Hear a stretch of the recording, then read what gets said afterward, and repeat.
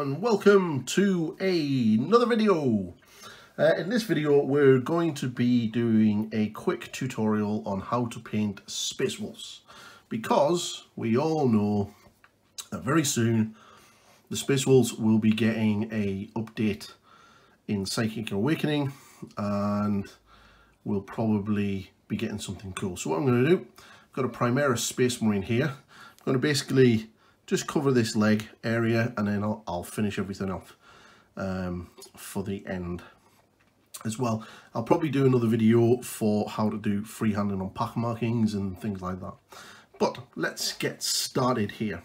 So the colours you're going to need are, you're going to need some Russ grey, you're going to need some the Fang, some Fenrisian grey, some blue horror and just as for the for the extra deeper shadows some Abaddon black.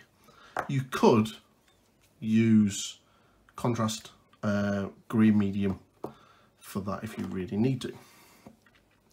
So first things first just get some of that on your wet palette using my um, artist brushes and my Redgrass red palette and then just get the colour over the top. I've primed the model in um. Now you could probably use a Chaos Black spray but what you'll find is this is quite a weak colour so you'll probably need quite a few coats to get it over the top. So some nice thin coats. And uh, get it on. Don't worry about being neat at this stage. It's all about just moving the brush fast keeping it on the layer.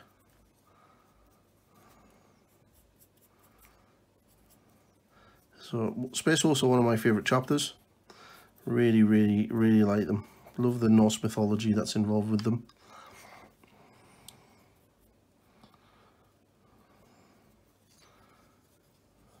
There you go. So, what I'm going to do is I'm gonna let this dry and then get a couple of coats on. So get a nice solid base coat on it and then we'll be back in a second. And that's done. So what I did was it took me about three coats three thin coats to get a solid a solid uh, finish on it. So what we do now is we're gonna we're gonna start putting the adding the the shades in. So what you're going to need is about 50 50 Russ grey and the fang. At least equal parts. You essentially just want to darken down the Russ grey.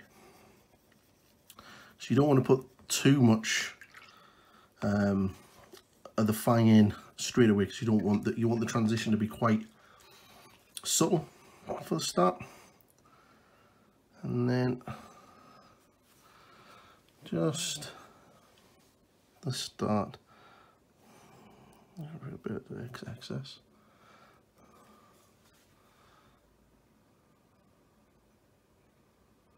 And then just at the bottom of the knees start adding this. This will start giving the armor some definition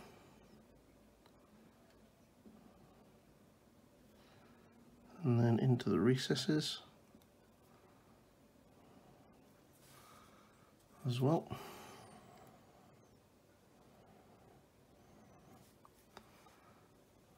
And just around and then we're here, just the bottom of this armor panel.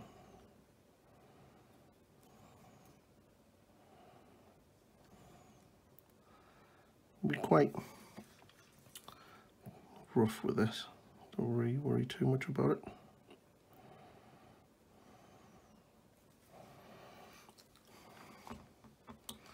She's going to be using a darker colour shortly. And this will sort of, when it dries, you'll start giving that, that shadowy area at the bottom.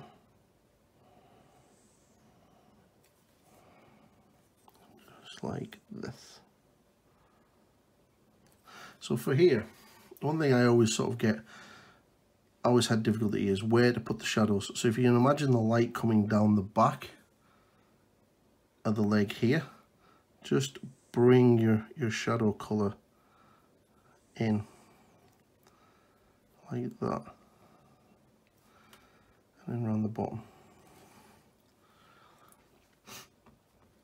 I think I'm coming down with a bit of a, a cold and then the same here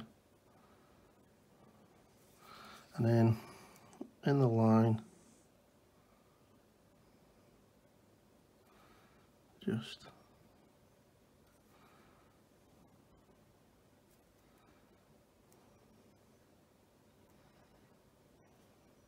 like so. So what you're doing is you just want to sort of put the, the shadowy colours in. And then the same here.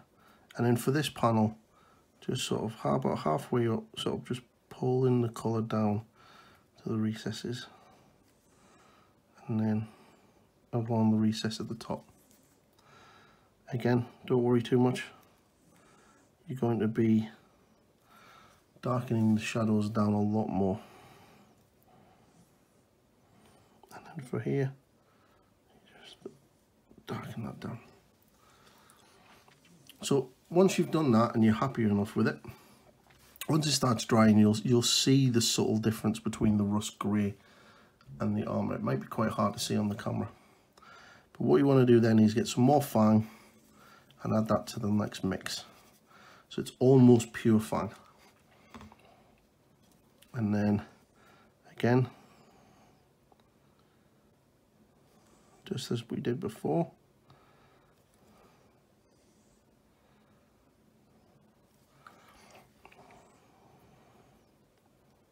Feather that off.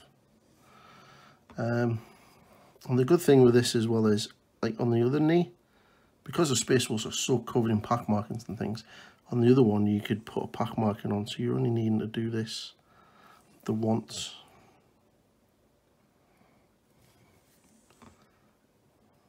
and just run this into the recesses. Because the paint is quite thin, it just naturally just runs into it.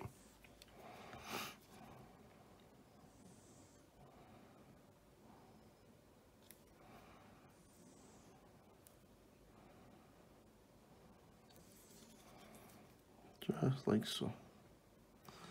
And then again, just along the edges and then the deepest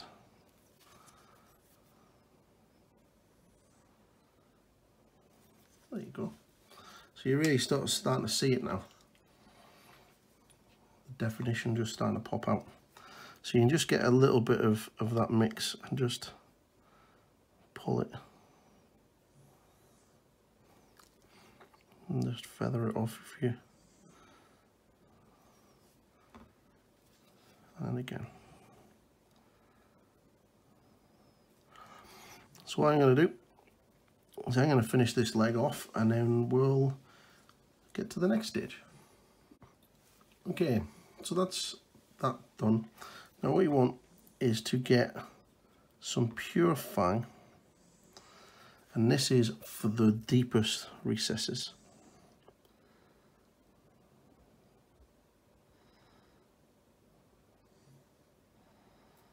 and really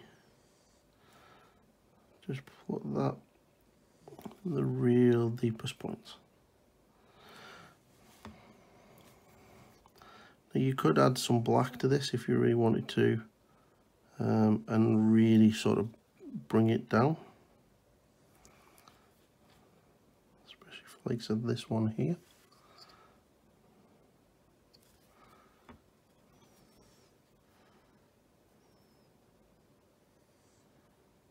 just like that. You want this really sort of in the darkest points. And this will make the armor panels stand out.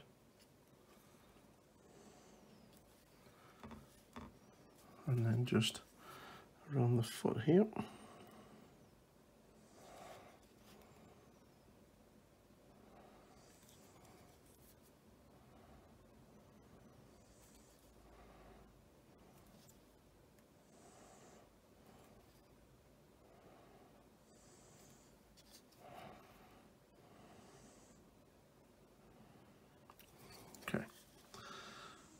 you get that really sort of deep part now.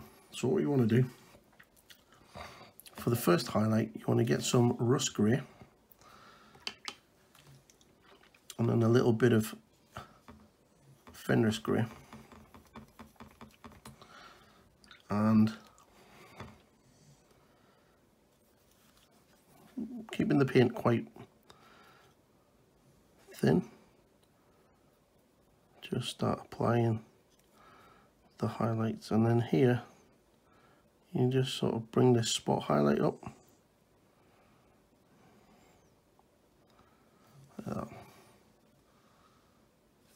And then you just a nice thin sort of almost it's almost like a glaze just at the top of the armor panels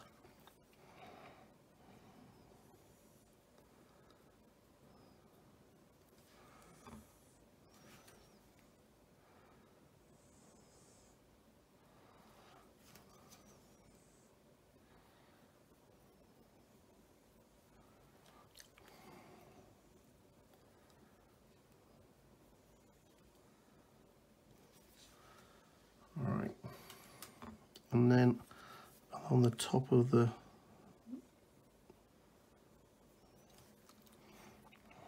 on the top of the feet. And the top of the foot.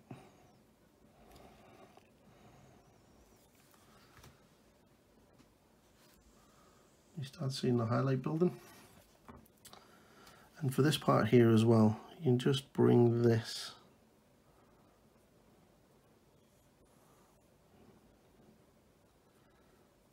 highlight down.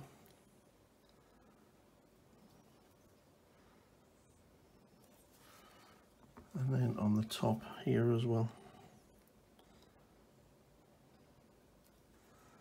And then on the top. So you want to do is just, you just want to bring, it's like a thin glaze, but just, it just brings that armor panel up and then just adds some contrast into the armour.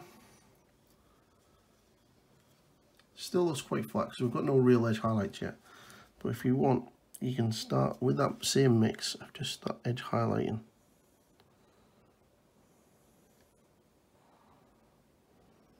Like so. And then you really want to be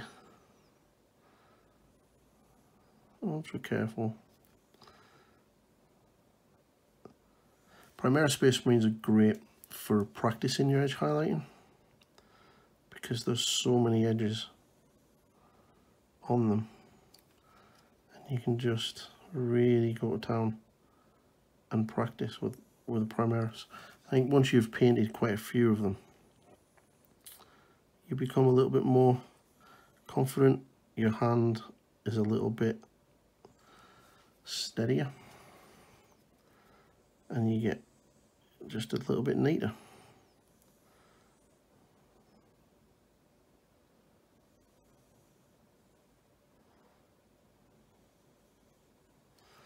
And then just a long, yeah, you can already see the difference.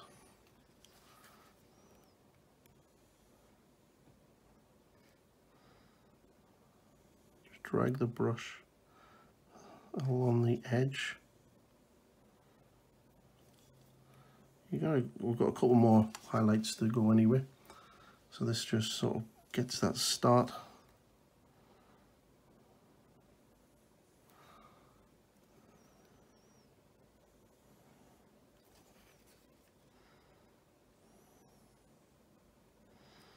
There you go. So what I'll do is I'll finish the edge highlighting and then we'll get back to the next stage. And that's that hedge highlight done. So as you can see, the armor panel is really starting to pop now. So to finish it off, what you can do is kind of do this in two stages if you wanted to, but or you can just do one. You get the blue horror, thin it down slightly, and then what you want is the, the most extreme sort of highlights. So you can sort of just put a little white dot there. Like that. And then on the very, the highest points, just highlight it. You don't need to do the whole thing and then just on the the corners.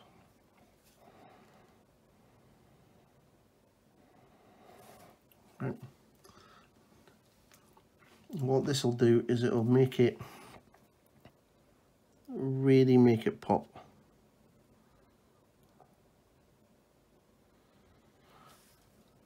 Just like that. So again here, just little dot on the top corner of this panel.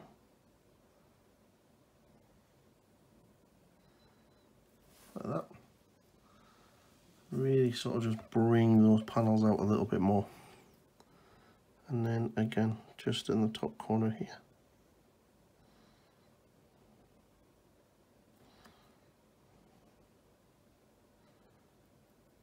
Just like so.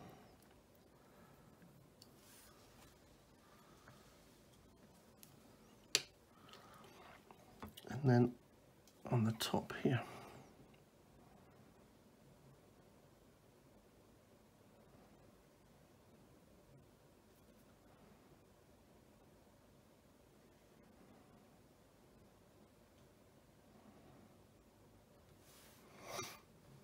Don't want too many of these um, because it'll take away from the miniature.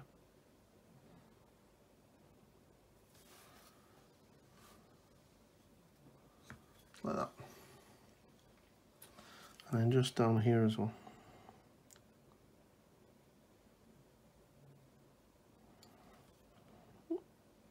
Looks like so. And then for the top of the foot, if you just put a little line here, this little thin line, and then just a little edge highlight coming off the side. a little dot there.